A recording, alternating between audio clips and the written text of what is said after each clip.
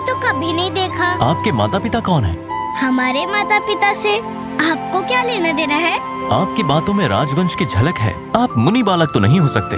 किस राजवंश के हो यही जानना चाहते हैं। हमारा वंश जो भी हो वो आपके वंश से तो बहुत ही बड़ा होगा।